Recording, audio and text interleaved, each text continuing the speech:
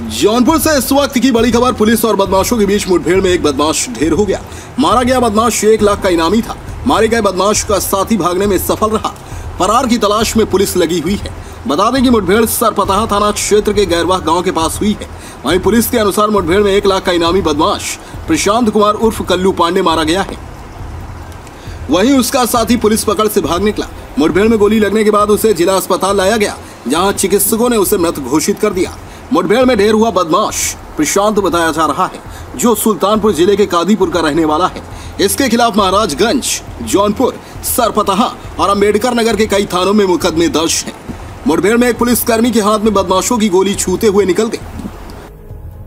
सुल्तानपुर जनपद का history sheeter है जिसपे लगभग तीन दर्जन मुकदमे हैं हत्या लूट और डकैती के।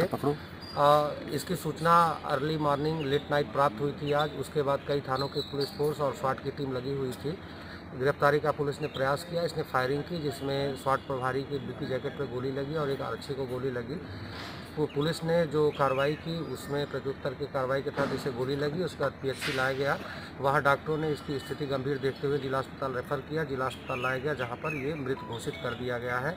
इस पर अलग अलग स्थानों से आईजी रेंज अयोध्या साहब और बाकी दो जनपदों से कुल एक लाख रुपये का इनाम घोषित था।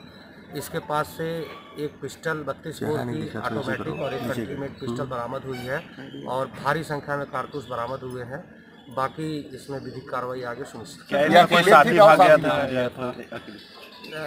जैसा कि मैंने आपको बताया कि करीब तीन दर्जन इस पे हत्या लूट डकैती के मुकदमे थे गैंगस्टर कई मामले थे और पिछले दो महीने में अंबेडकर नगर जनपद में सुल्तानपुर में जौनपुर में बड़ी लूटें इसने की थी और पिछले महीने अंबेडकर नगर में भी दो मर्डर करके लूट की गई थी गोली मारी गई थी जिसमें अलग अलग लोगों की जान गई थी। वो सारी घटनाएँ अभी तक प्रकाश किस किस जनपद में इनामिया था?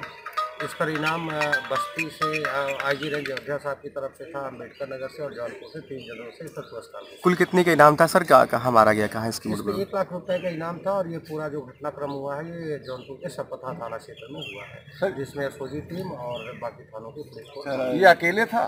घटना जो सूचना प्राप्त हुई थी उसमें दो लोगों की सूचना प्राप्त हुई थी। एक व्यक्ति फरार हुआ है उसके लिए बाकी कार्रवाई और कानून जौनपुर टीम को कोई इनाम भी दिया जाएगा आपकी तरफ़ जैसा कि मैंने आपको बताया कि एक लाख रुपए का पुरस्कार घोषित था जो टीम इसमें शामिल रही है। जाँच की प्रक्रिया पूरी के बाद पुरस्कार संबंधित टीम को जौनपुर पुलिस कितने दिन से इसके पीछे थी बनवास के पीछे? जौनपुर पुलिस जैसे ही घटना में इसका नाम सामने आया था उस लूट की घटना में उसके बाद से ही पुलिस लगातार जौनपुर में कौन सी महत्वपूर्ण घटना थी इसको अंजाम दिया थैंक यू। देश प्रदेश की हर छोटी बड़ी खबर के लिए सब्सक्राइब करें हमारा channel R T I news twenty four और बेल आइकन दबाना ना भूलें, जिससे हर खबर आप तक पहुँचा सके हम। सबसे पहले